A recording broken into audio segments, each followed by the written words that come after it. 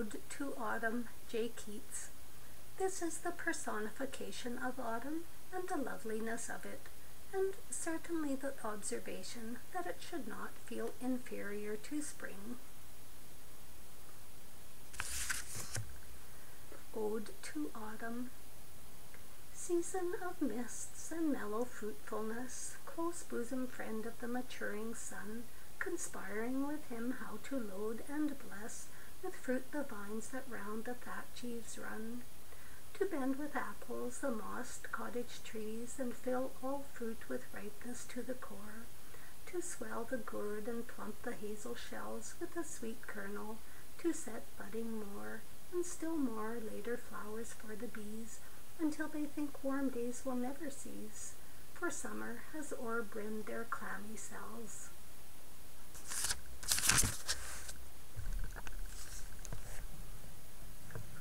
Not seen thee oft amid thy store? Sometimes whoever seeks abroad may find thee sitting careless on a granary floor, thy hair soft lifted by the winnowing wind, or on a half-reaped furrow sound asleep, drowsed with the fume of poppies while thy hook spares the next swath and all its twined flowers. And sometimes like a gleaner thou dost keep steady thy laden head across a brook, or by a cider press with patient look thou watchest the last oozings hours by hours. Where are the songs of spring? Hey, where are they? Think not of them, thou hast thy music too, while barred clouds bloom the soft dying day, and touch the stubble plains with rosy hue.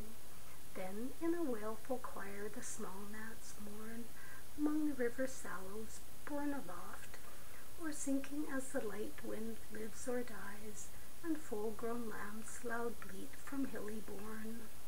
Hedge crickets sing, and now with treble soft, the redbreast whistles from a garden croft, and gathering swallows twitter in the skies.